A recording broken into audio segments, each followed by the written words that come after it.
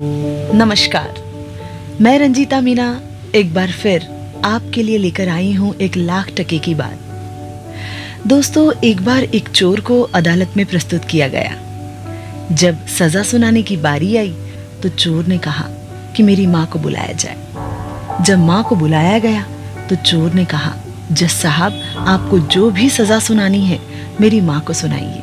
जज साहब ने पूछा, ऐसा क्यों? तो चोर ने कहा कि जज साहब, बचपन में जब एक दोस्त के यहाँ से मैं खिलौना चुरा कर लाया और माँ को दिखाया, तभी अगर माँ मुझे रोक देती तो शायद आज मैं इस कटघरे में खड़ा नहीं होता।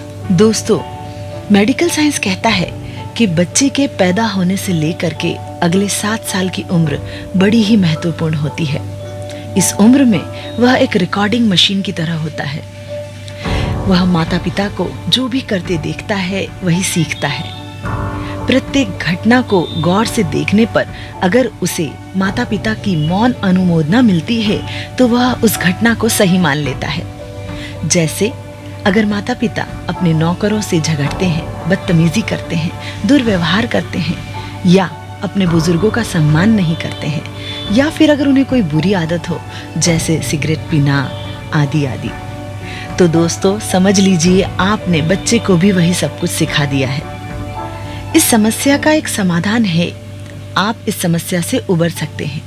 जैसे ही बच्चा पैदा हो, यह मान लीजिए कि एक बोर्ड आपके सामने लिखा हुआ है, जिस पर लिखा है कि आप कैमरे की निगाह में हैं। दोस्तों, कई बार हमने देखा है कि बहुत ही पढ़े लिखे एवं समझदार व्यक्ति भी कई बार अपने जीवन साथी से या अपने कर्मचारियों से बदतमीजी से पेश आते हैं। अगर आप उनके बचपन में झाँक कर देखें तो आपको पता चलेगा कि उनके माता पिता भी ऐसे ही थे।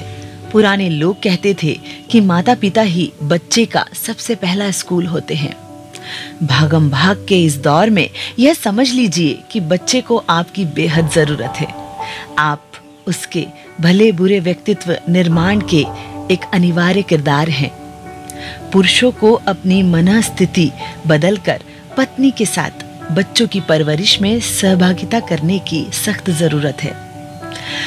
नौकरी बिज़नेस में चाहे आप कम समय दें, लेकिन बच्चे के एक साल से लेकर के सात साल की उम्र तक उन्हें क्वालिटी टाइम देना बहुत ज़रूरी है।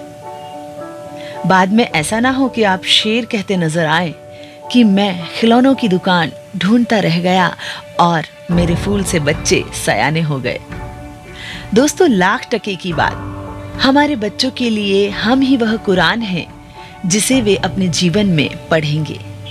हम ही वह इकलौता धर्म है, जिसे वे अनुसरण करेंगे। हम ही वह इकलौती बाइबल है, जिसका वे अनुभव करेंगे, एवं हम ही वह इकलौता वेद है, जिसे वह देखेंगे। अगर आपको मेरी ये बात अच्छी लगी हो तो हमारे पेज योगेश मीना को लाइक और फॉलो करना ना भूले। साथ ही साथ आप सब्सक्राइब कर सकते हैं यूट्यूब चैनल योगेश मीना को भी। और भी ऐसी खूबसूरत सी बातें लेकर आती रहूँगी आप लोगों के लिए। मैं रंजीता मीना खंडवा, मध्य प्रदेश से। धन्यवाद।